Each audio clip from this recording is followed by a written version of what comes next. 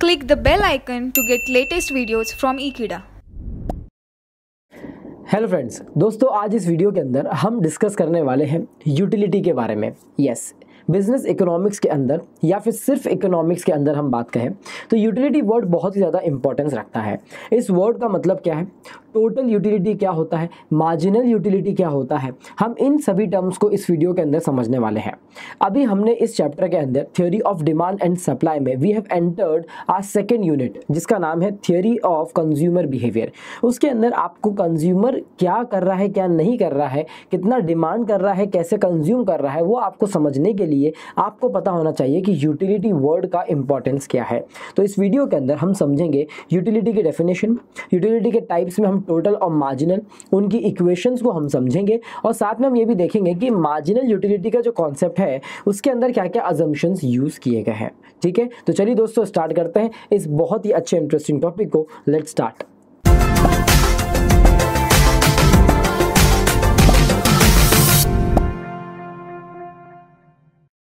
सो so, दोस्तों यहाँ पर जो वर्ड आपके सामने है वो क्या है? Utility yes yes. तो हमें सबसे पहले ये समझना है कि इस यूटिलिटी का वर्ड का मतलब होता क्या है? यूटिलिटी को हम इन जनरल लैंग्वेज क्या बोलते हैं? कि किसी भी चीज़ को हम बोलते हैं उसका यूज़ कितना है राइट बट यूज़ और यूटिलिटी जब हम इकोनॉमिक्स में बात करते हैं तो बहुत ही ज़्यादा अलग अलग बात है। यानी कि यूज़फुलनेस हर चीज़ की हो ना हो बट यूटिलिटी हमेशा हर चीज़ की होती है। इसके अंदर एक एग्जांपल हम देख सकते हैं जैसे है अल्कोहल या फिर हम बात करें ड्रग्स की। अब इन केसेस में क्या हो रहा है? ये केसेस में अल्कोहल की यूज़फुलनेस तो नहीं है। अगर आप हेल्थ वाइज बात करेंगे तो आप बोलेंगे it is not useful right आप ड्रग्स की बात करेंगे हेल्थ वाइज तो आप बोलेंगे it is not useful right तो यूज़फुलनेस भले ही ना हो बट यूटिलिटी तो है। क्यों? क्योंकि यूटिलिटी मतलब होता है कि किसी भी चीज़ को यानी कि सेटिस्फाइंग पावर जो किसी भी कम्युनिटी की होती है, उसे यूटिलिटी बोला जाता है। बिल्कुल सही। तो इसके अगर हम डेफिनेशन देखेंगे तो यूटिलिटी की डेफिनेशन हमने लास्ट वीडियो में देखी है बट मैं आपको यहाँ पर थोड़ा सा कनेक्ट करना चाहता हूँ यूटिलिटी की डेफिनेशन से, जिससे आगे आपको समझ में आएगा कि इसके अंदर और क्या क्या टाइप्स है। ओके सो यूटिलिटी की डेफिनेशन हमने देखी थी that it is a want satisfying power बराबर बात है। तो किसी भी वांट को सेटिस्फाई करने की कितनी पावर है, उसको हम यूटिलिटी कहते हैं किसकी? उस प्रोडक्ट की। तो अगर मैंने आपको ये कहा कि कोई भी कमोडिटी की कितनी यूटिलिटी है तो आप क्या देखेंगे कि जिस पर्पस के लिए आपने उसको खरीदा था, उस पर्पस को सेटिस्फाई करने में वो कितना सक्षम रहा, वो कितना पॉसिबल रहा, उसकी कितनी पावर थी। ठीक है? इतना ही नहीं है। ये है a want satisfying power of a commodity okay सिर्फ़ कमोडिटी की तरफ़ से डेफिनेशन नहीं बनी है। ये definition also connected from a consumer point of view as well why एक कंज्यूमर है who is willing to buy और विलिंग टू परचेज ये भी होना चाहिए? Yes yes. अगर कोई भी पर्सन या कंज्यूमर परचेज करने के लिए तैयार ही नहीं है स्पेंड करने के लिए तैयार ही नहीं है तो फिर वो आदमी कोई भी चीज़ खरीदेगा कैसे और तब तक हम उसकी यूटिलिटी को कैसे यहाँ पर हम मेजर कर पाएँगे। So a consumer who is willing to purchase और spend on a stock of a commodity कितने भी यूनिट्स खरीदे वो उस कमोडिटी के, हम क्या बोलेंगे कि एक यूनिट खरीदने पर हमारी कितनी यहाँ पर वांट सेटिस्फाई हो रही है, उसको हम यूटिलिटी बोला जाएगा, बराबर है। मतलब वन यूनिट को हम मेजर करेंगे वन यूटिलिटी से तो सर यूटिलिटी का कोई मेजर करने का तरीका है क्या? यूटिलिटी कोई फ़िज़िकल चीज़ तो है नहीं जिसको हम मेजर कर सकते हैं? मतलब कोई कार्डिनल नंबर्स हम कैसे दे पाएँगे उसको? सो so, यहाँ पर हम आगे देखेंगे यूटिलिटी के नेचर्स में और अजम्पन्स में कि यहाँ पर क्या अज्यूम किया जा रहा है। सबसे पहली बात कि हम यूटिलिटी को मेजर कर सकते हैं इन नंबर्स मतलब कि मैंने अगर एक कोई भी प्रोडक्ट यूज़ किया कंज्यूम किया तो मुझे टेन यूटिल्स या फिर मुझे टेन सेटिस्फाइंग पावर मिली वहाँ से। बराबर है ऐसा बोला जाता है और ये अजम्पन है और जितने भी इकोनॉमिस्ट हैं उन्होंने इसी तरीके से यहाँ पर इस चीज़ को अपनाया है। सो so, सो so ये देखी क्या हमने? ये देखी हमने यूटिलिटी की डेफिनेशन यस yes, मतलब कि यूटिलिटी आखिरकार है क्या? तो हमने पहले देख लिया कि यूजफुलनेस से थोड़ी सी अलग चीज़ है। Okay okay? एग्ज़ाम्पल हमने अल्कोहल और ड्रग्स का लिया था यहाँ पर। But what it is it is a want satisfying power of a commodity her commodity के अंदर ये आपकी वांट को सेटिस्फाई करने की पावर होती ही होती है। बट अगर ये कंज्यूमर पॉइंट ऑफ़ व्यू से भी थोड़ा डिस्कस किया जाए तो अगर कंज्यूमर विलिंग ही नहीं है और पैसे खर्च करने के लिए तैयार नहीं है तो हम यूटिलिटी कैसे करेंगे? जैसे मैंने आपको बोल रहा हूँ, मैं बैठे बैठे कि ये जो पेंसिल है ना एप्पल का एप्पल का पेंसिल ना इतना अच्छा नहीं है। तो सामने वाला पूछेगा, आपने यूज़ किया है क्या? नहीं। आप खरीदने वाले हैं क्या? नहीं। तो फिर आप कैसे बोल सकते हैं कि इतना अच्छा नहीं है? मतलब जब तक आपने कोई मनी स्पेंड नहीं किया है, तब तक आप उसको किस चीज़ से कंपेयर करेंगे? मीन्स आप उसको वर्थ इट कैसे बोलेंगे? आप कहीं के रेस्टोरेंट्स में जाते हैं तो आप कहते हैं कि यार खाना वर्थ था एकदम। यानी कि मतलब it didn't hit hard on your pocket plus साथ में उसने आपको सेटिस्फाई भी किया। राइट? तो आपने क्या बोला कि वर्थ इट था। मीन्स आपने जब स्पेंड किया, आपने कुछ मनी स्पेंड किया, उसके अगेंस्ट में आपको जो सेटिस्फेक्शन मिला, उन दोनों को आपने जब कंपेयर किया तो आपको समझ में आया कि इसकी यूटिलिटी कितनी है। इसीलिए ये ज़रूरी है कि consumer is willing to purchase और बाय अगर ऐसा नहीं होगा, घर बैठे बैठे आप किसी भी चीज़ की यूटिलिटी मेजर नहीं कर पाएँगे। सो यहाँ पर दो आस्पेक्ट्स चाहिए। पहला आस्पेक्ट यहाँ पर मनी का चाहिए, जो यहाँ पर कंज्यूमर तैयार है खर्च करने के लिए। और दूसरा, यहाँ पर कमोडिटी के जो यूनिट्स है, वो भी बहुत ज़्यादा इंपॉर्टेंट होते हैं कि कितनी यूनिट्स ऑफ़ कमोडिटी आप कंज्यूम कर रहे हो। पर इस तरीके से हम देखें तो हर एक यूनिट का अपने आप में हर एक यूटिलिटी तैयार हो जाएगी, ठीक है? सो ये हमने देख लिया यूटिलिटी की डेफिनेशन आइए, अब मैं आपको बताता हूँ कि इस वीडियो में यूटिलिटी तो मैंने आपको बता दिया, हम और क्या क्या कवर करने वाले हैं? यूटिलिटी से रिलेटेड हम क्या क्या कवर करेंगे? देखिए what will cover in this video what is utility yes obviously ये मैंने आपको बताया। बट अब हमको देखना है कि टोटल और मार्जिनल ये दोनों अलग अलग टाइप्स ऑफ़ यूटिलिटीज़ है तो इनका मतलब क्या है? इनकी डेफिनेशन क्या है? क्या इनका कोई फॉर्मूला है इनको पता करने के लिए? और इसको हम लॉजिकल तरीके समझेंगे, बिल्कुल भी रटेंगे नहीं। इसके बाद में हम देखेंगे assumptions of marginal utility analysis यानी कि जो मार्जिनल यूटिलिटी आप बोल रहे हैं, वो हमेशा सही कैसे हो सकती है? तो नहीं हो सकती है, हमको मालूम है। तो इसीलिए हमने उसके लिए अजम्पन्स क्रिएट करे हैं।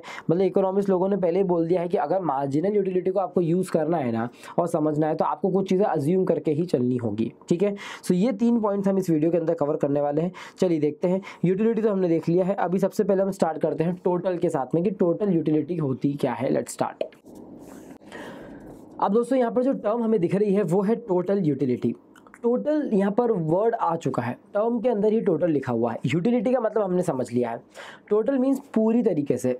पूरा अगर मैं कमोडिटी को कंज्यूम कर लूँगा तो मुझे कितनी यूटिलिटी मिलेगी? Yes yes? तो यहाँ पर टोटल का जो मतलब है वो क्या होगा? कि जैसे आपने एक चॉकलेट खरीदी।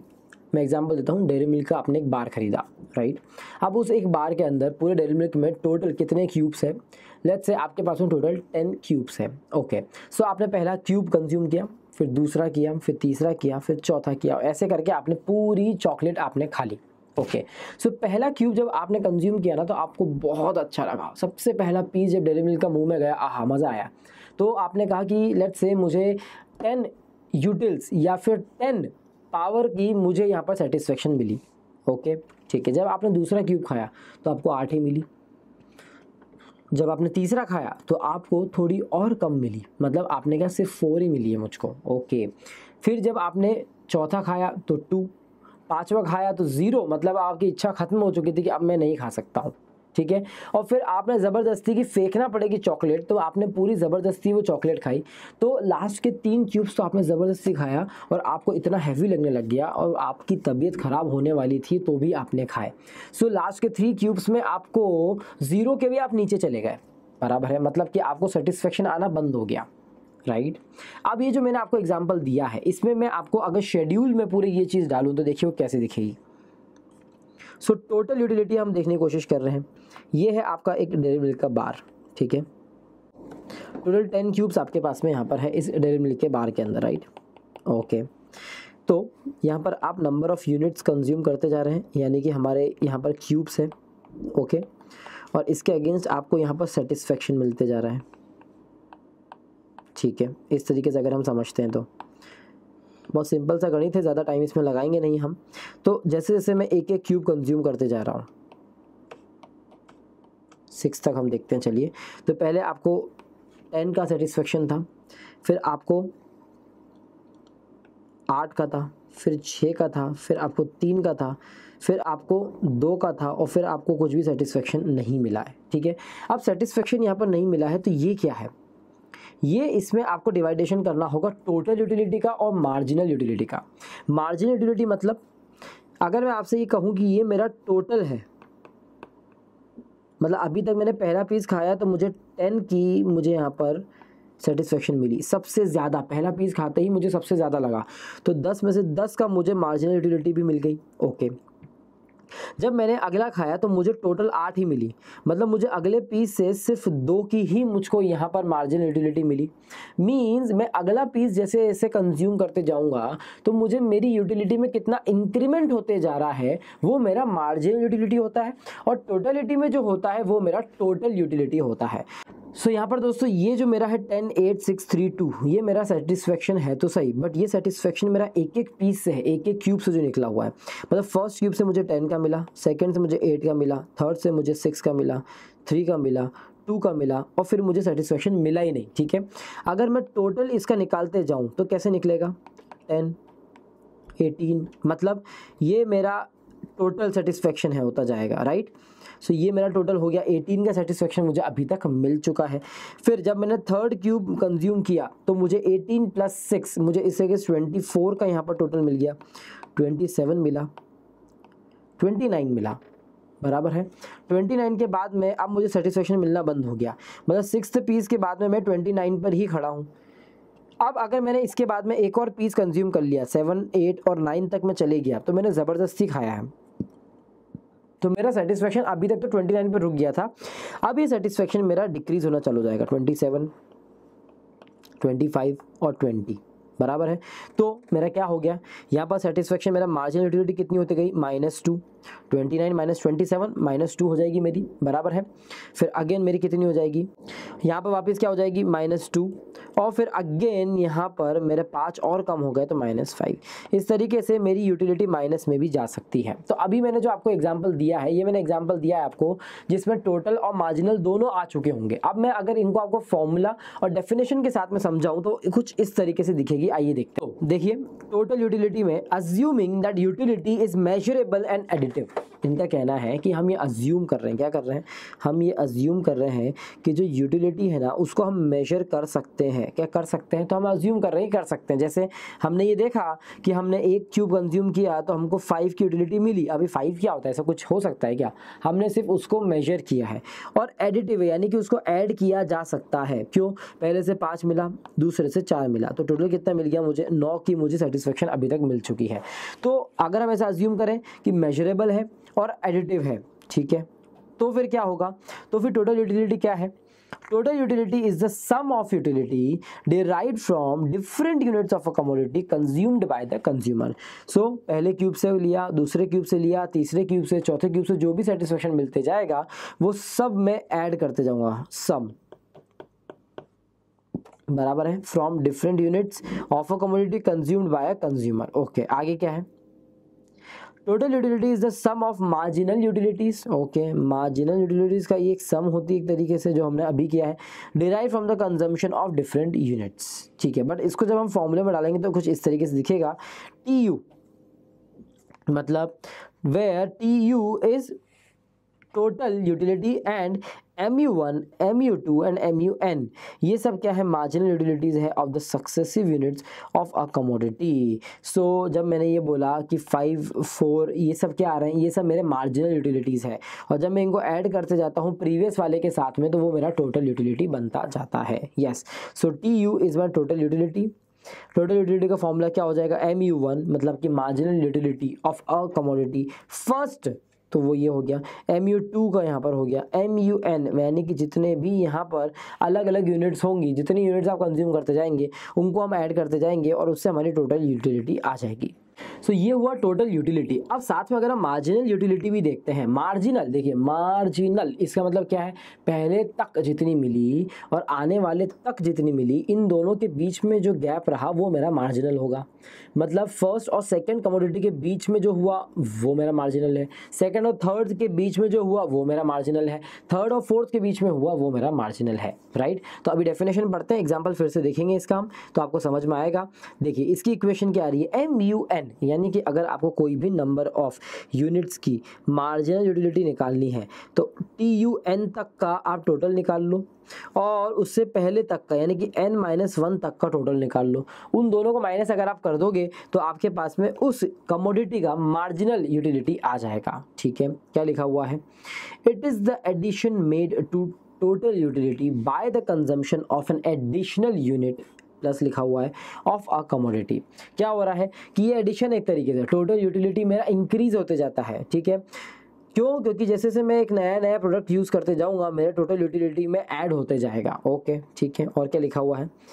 Marginal utility equals to the addition made to the total utility वही बोल रहा है ये भी कि एडिशन है ये टोटल यूटिलिटी के साथ में। By the addition of consumption of one more unit of commodity एक और यूनिट को अगर मुझे ऐड करना है, वो मैं करते जाता हूँ तो उसका एडिशन होते जाएगा मेरी यूटिलिटी के अंदर। ठीक है? ओके तो ये हो गया हमारी डेफिनेशन ये हो गई हमारी क्या? इक्वेशन इक्वेशन में क्या समझना है हमको? कुछ नहीं. एम यू एन हमको पता है क्या है? Marginal utility of the nth unit कोई भी नंबर ऑफ़ यूनिट्स की. यानी कि हमारे एग्ज़ाम्पल में देखें तो जैसे सेवन्थ क्यूब की अगर मुझे मार्जिनल यूटिलिटी निकालनी है तो मैं क्या करूँगा? मैं लूँगा M U seven equals to T U seven यानी कि सेवन्थ यूनिट तक टोटल यूटिलिटी कितनी हो चुकी है अभी तक ओके टी यू एन क्या होगा? Total utility of the nth unit okay और T U N minus one मतलब क्या हुआ है? Is the total utility of the N minus one unit मतलब यानी कि उससे जस्ट एक पहले वाली जो यूनिट है, उससे तक की मीन्स सिक्स तक की टोटल सो so, यहाँ पर अगर हम एग्ज़ाम्पल ले और इसको समझे एक तरफ़ मैं रखता हूँ टोटल यूटिलिटी और दूसरी तरफ़ मैं रखता हूँ मार्जिनल यूटिलिटी ठीक है? और यहाँ पर मैं रखता हूँ मेरे प्रोडक्ट की क्वांटिटी जो मैं कंज्यूम करते जा रहा हूँ या फिर यूनिट्स जो मैं कंज्यूम करते जा रहा हूँ। ठीक है? देखिए ये क्या है? ये है एक आइसक्रीम बराबर है। आपने कहा कि आइसक्रीम लेना है और खाना है। ठीक है तो आपने आइसक्रीम्स खरीदते गए। एक आइसक्रीम खाई दो खाई तीन खाई और चार खाई।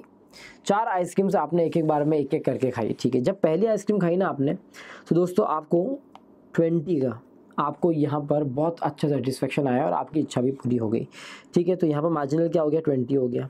Now hmm. अगली यूनिट जब आपने खाई सेकेंड वाली तो आपको यहाँ पर टोटल कितना यहाँ पर आपको यूटिलिटी मिली?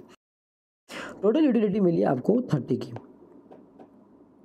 मतलब क्या होगा कि अगर मुझे इस पॉइंट पर मुझे निकालना है एम यू टू सो यहाँ पर मुझे टोटल यूटिलिटी मिली थर्टी की। ओके सो मेरा यहाँ पर मार्जिनल ट्वेंटी था पहले। ओके। और अभी मेरा मार्जिनल कितना हो जाएगा? ये मेरा अगर एम यू टू है, जैसे कि मैंने आपको बताया, मुझे निकालना है एम यू टू तो मेरे पास में कैसे निकालूँगा मार्जिनल यूटिलिटी सो मुझे लेना पड़ेगा टोटल यूटिलिटी कहाँ तक की? टोटल यूटिलिटी मुझे निकालनी पड़ेगी टू की minus total utility two minus one यानी कि पिछली यूनिट तक की। ठीक है, जो क्या है ट्वेंटी है, अभी तक की थर्टी है तो टेन ये क्या आया? ये टेन आया है मेरा इसका मार्जिनल यूटिलिटी अभी और मैं थोड़ा आगे चलूँ तो मैंने एक और कंज्यूम करी तो मुझे सिर्फ़ थर्टी फाइव ही टोटल यूटिलिटी मिली यहाँ पे, ठीक है? तो अब मुझे वापस यहाँ पर इस पॉइंट में मार्जिनल कितना मिला, मैं कैसे निकालूँगा? सो यहाँ तक की मेरी टोटल माइनस मेरी पहले तक की टोटल थर्टी फाइव तो इस बार मुझे मार्जिनल फ़ायदा जो हुआ है वो सिर्फ़ फाइव यूटिल्स का ही हुआ है जो पहले टेन का हुआ था। ठीक है? तो आई होप आपको एग्ज़ाम्पल समझ में आ गया होगा कि इस एग्ज़ाम्पल से हम कैसे टोटल और मार्जिनल को समझने की कोशिश कर रहे हैं। सो so, अभी तक हमने टोटल की डेफिनेशन देखी मार्जिनल की डेफिनेशन देखी। दोनों में हमने क्या देखा है कि किस तरीके से इनको हम मेजर कर सकते हैं राइट मार्जिनल को हम एक बार और देखते हैं, जिससे आपको यहाँ पर फ़ंक्शन समझ में आ जाएगा पूरा। लेट्स सी सो दोस्तों, यहाँ पर हमने क्या देखा है? अभी तक हमने देख लिया है डेफिनेशन टोटल और मार्जिनल यूटिलिटी की। अब हमको जो लास्ट टॉपिक इस वीडियो में समझना है, वो है अजम्पन्स यस आखिरकार ये अजम्पन्स क्या होते हैं और अजम्पन्स की ज़रूरत क्यों पड़ी है? सर आपने बोला कि मार्जिनल यूटिलिटी आपको हम समझाएँगे। ठीक है सर आपने मार्जिनल हमको क्या बताया? कि अगर मैंने इस यूनिट को कंज्यूम करते टाइम तक जितनी मुझे सेटिस्फेक्शन मिली है वो। और साथ में लास्ट यूनिट तक जो मुझे सेटिस्फेक्शन मिली है वो, उन दोनों का अगर मैं डिफरेंस निकालते हैं हम तो हमको मिलता है मार्जिनल यूनिट मतलब जैसे जैसे मैं एक एक यूनिट आगे की कंज्यूम करते जाता हूँ वैसे वैसे मेरा टोटल यूटिलिटी इंक्रीज होते जाती है। और टोटल यूटिलिटी में एड ऑन होते जाता है नेक्स्ट यूनिट का मार्जिनल फिर एड ऑन होते जाता है नेक्स्ट यूनिट का मार्जिनल इस तरीके से मेरा मार्जिनल एक एक यूनिट का निकलते जाता है और मेरा टोटल यूटिलिटी बढ़ता जाता है। ये बात आपने बिल्कुल सही बोली।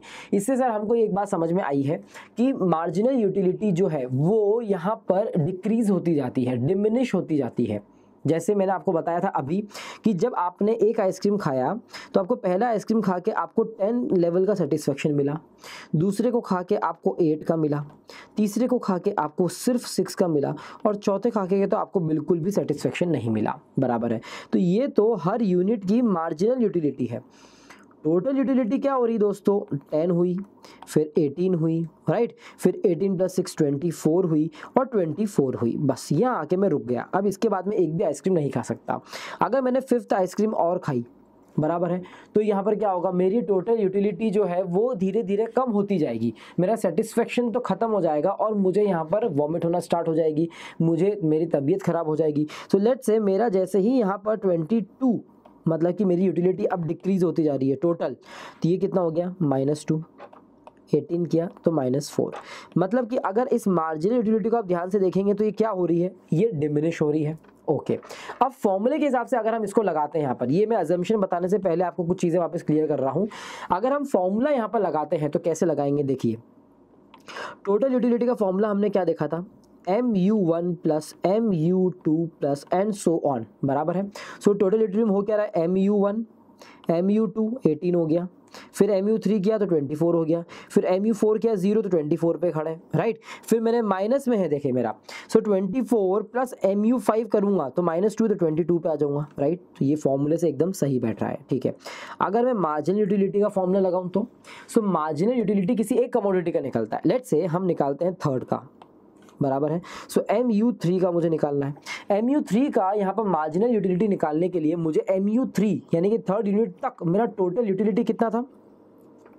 मेरा टोटल यूटिलिटी है ट्वेंटी फोर ठीक है?